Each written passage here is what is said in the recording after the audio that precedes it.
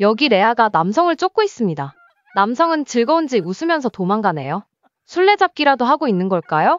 남성은 쫓아오는 레아가 귀엽기만 한가 봅니다. 놀이도 끝! 남성이 레아의 목을 덥석 잡습니다.